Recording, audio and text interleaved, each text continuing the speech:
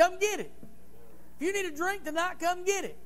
I want Joyce to come and sing that last song or that first song that she sang tonight. Amen. That that special song, uh, man, that really spoke to my heart.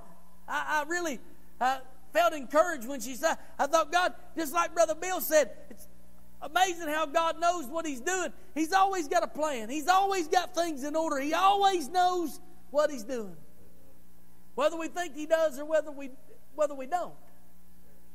My life, and your life, if you need a drink tonight, let's stand. If you need a drink tonight, I want you to come and line up across the front right here let's worship God and let's get a drink, amen, from heaven. Amen, tonight in our life. Come on, Joyce. Hallelujah. Let's get a drink tonight. Thanks for joining with us for the broadcast from New Beginning Worship Center in Greenback, Tennessee.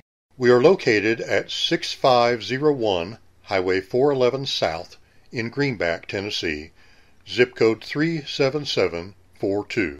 Emails may be addressed to nbwc